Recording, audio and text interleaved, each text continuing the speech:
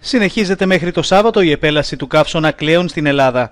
Στις αρχές έχει σημάνει συναγερμός και έχουν απευθυνθεί συστάσεις στους πολίτες και ιδιαίτερα στις ευπαθείς ομάδες ώστε να λάβουν τα απαραίτητα μέτρα προστασίας.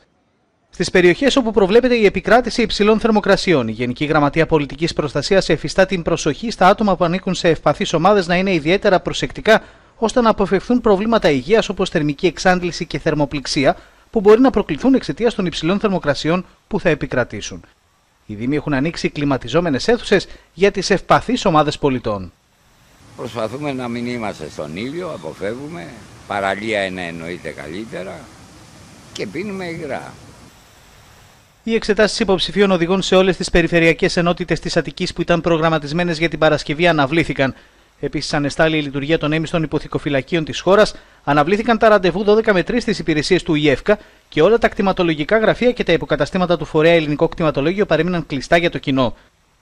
Το Υπουργείο Εργασίας αποφάσισε επίσης την υποχρεωτική πάυση των χειρονακτικών εργασιών σε εξωτερικό χώρο σε περιοχές που ο κίνδυνος θερμικής καταπώνησης καθίσταται εξαιρετικά υψηλός κατά το χρονικό διάστημα 12 με 5, ώρες κατά τις οποίες αποφασίστηκε επίσης πάυση των υπηρεσιών delivery.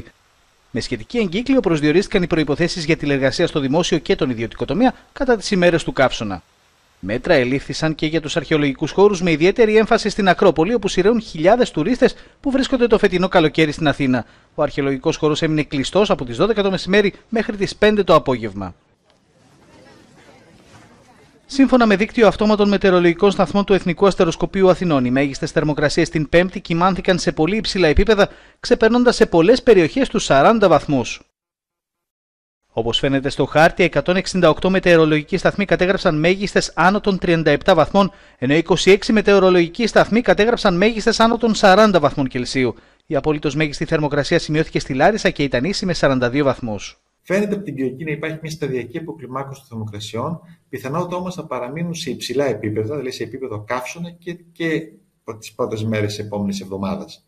Επομένως, δεν έχουμε ακόμα μια ξεκάθαρη εικόνα της λήξης του και επομένως μπορεί να διαρκέσει και παραπάνω από 7 ημέρες. Θα είναι, εκτιμώ, μέσα στους 10 καύσονε των τελευταίων 30 ετών που έχουμε σημειώσει και έχουμε εντοπίσει. Θα θυμίζει πιθανότατα και τον καύσωνα του 2021 που είναι και ο πιο πρόσφατος που έχουμε στα, στη μνήμη μας και επομένως είναι κάτι το οποίο είναι αρκετά επικίνδυνο και για την ανθρώπινη υγεία αλλά και για τα οικοσυστήματα στι δασικέ πυρκαγιέ.